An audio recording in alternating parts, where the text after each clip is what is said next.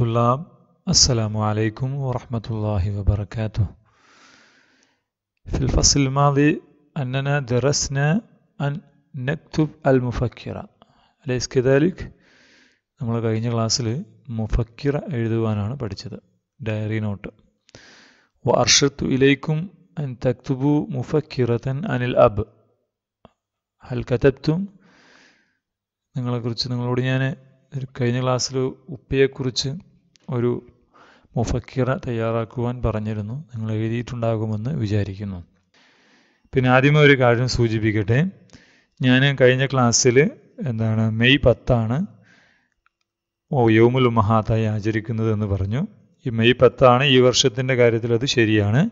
പക്ഷേ അതിന് എല്ലാ മെയ് മാസത്തിലെയും എല്ലാ വർഷത്തിലെയും മെയ് മാസത്തിലെയും രണ്ടാമത്തെ ഞായറാഴ്ചയാണ് യൗമുൽ ഉമ്മഹാത്തായി ആചരിക്കുന്നത്. അത് നിങ്ങൾ ഓർത്തിരിക്കണം. നേരത്തെ പറഞ്ഞത് ഒരു മിസ്റ്റേക്ക് വന്നതാണ്. നിങ്ങൾ അത് ഓർത്തിരിക്കേണ്ടതാണ്. ജൂൺ ഇരുപത്തൊന്നാണ് എന്താണ് യൗമുൽ ആബ ഉപ്പമാരുടെ ദിനമായി ആചരിക്കുന്നത്.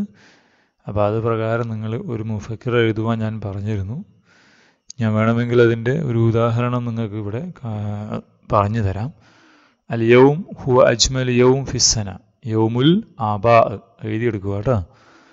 അൽ ഉം ഇവിടെ എന്താവും അൽ അബു മാ അഹില ഹാദിഹിൽ കലിമ. കമ്മിൻ കമ്മിൻ യൗമിൻ കമ്മിൻ യൗമിൻ. എത്രയെത്ര ദിനങ്ങൾ? ലൈൽ എന്നുള്ളത് എത്രയെത്ര ദിനങ്ങൾ?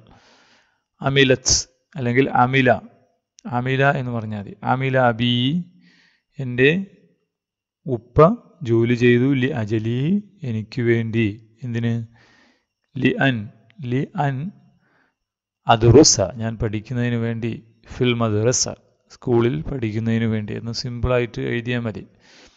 ഇപ്പം കൈഫ അൻസ അബി എന്ന് എഴുതിയാൽ തന്നെ എന്താണ്? മുഫക്കിറ തയ്യാറായി. വളരെ സിമ്പിളായ ഒരു മുഫക്കിറ തയ്യാറായി. ഇതുപോലെ ഒന്ന് തയ്യാറാക്കുവാൻ എല്ലാവരും ശ്രമിക്കണം.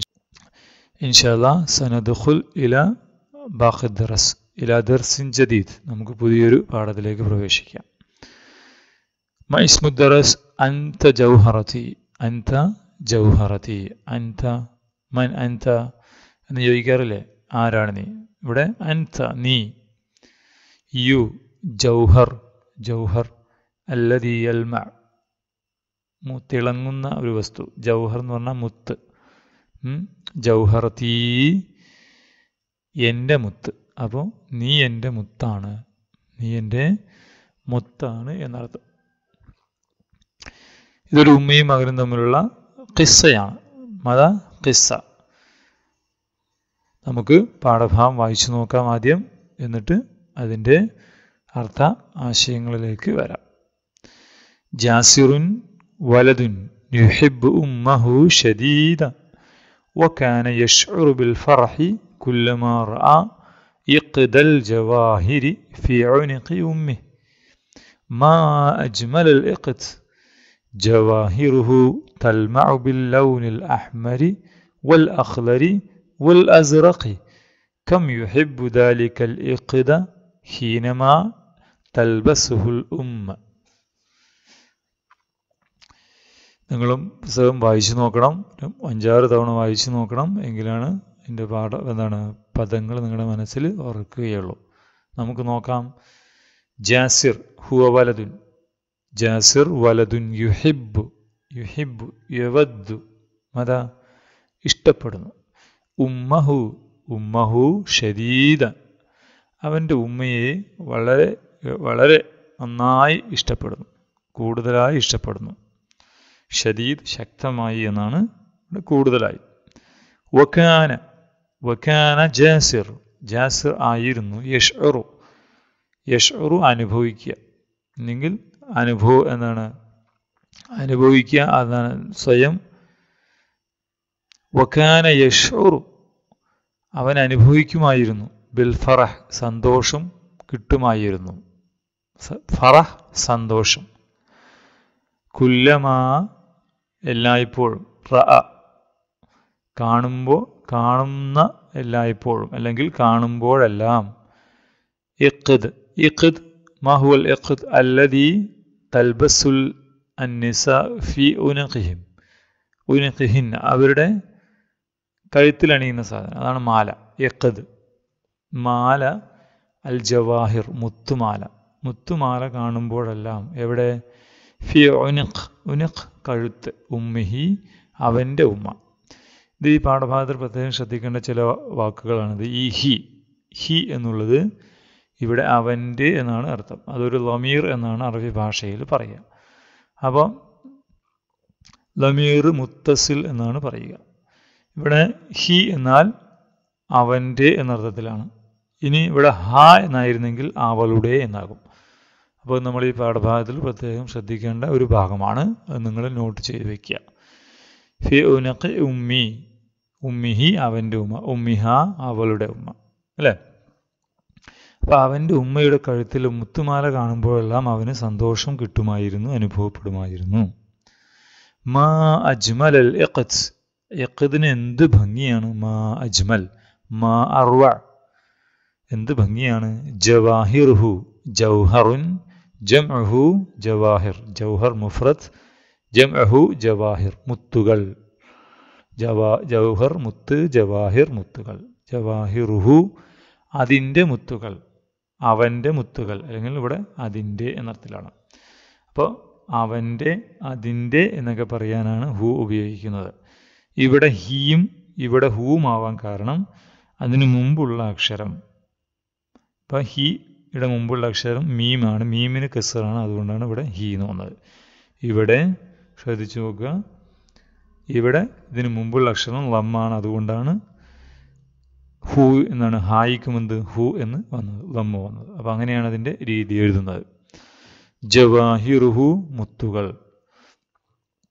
തൽമഉ തൽമഉ തിളങ്ങുന്നു തിളങ്ങുന്നു.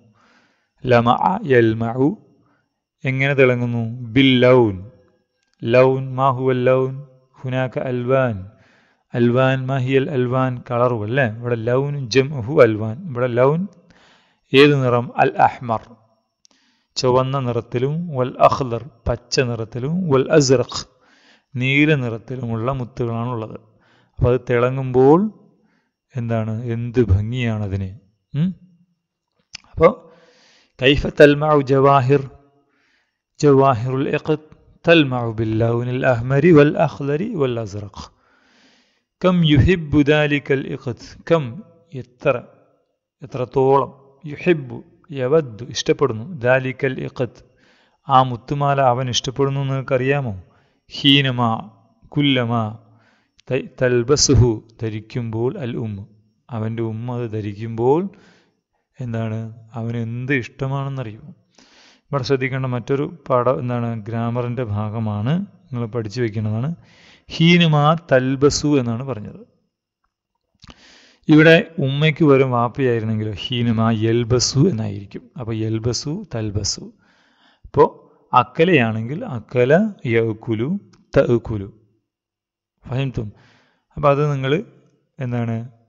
മോന്നസ് മുതക്കർ ഇത് തൽബസു എന്നുള്ളത് മോന്നസ്സാണ് സ്ത്രീലിംഗമാണ്.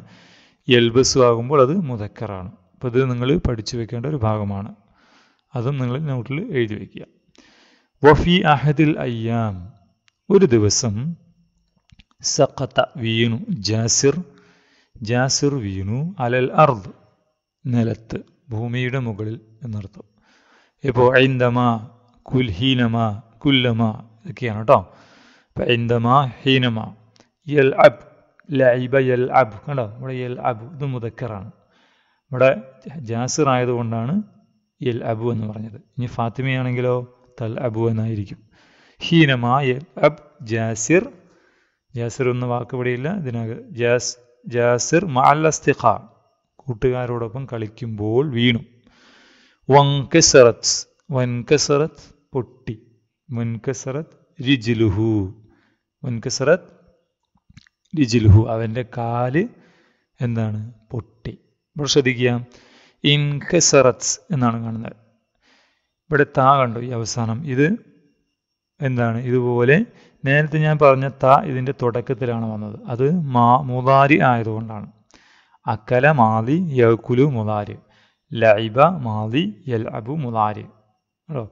മുതാരി ആകുമ്പോഴാണ് തുടക്കത്തിൽ മുഹന്നസാകുമ്പോൾ തുടക്കത്തിൽ താ വരുന്നത്. ഇനി ഇവിടെ മാതിയാണിത് ഇങ്കസറ എന്നുള്ളത് മാവിയാണ് പൊട്ടി പൊട്ടിക്കഴിഞ്ഞു. ഭൂതകാലമാണ്.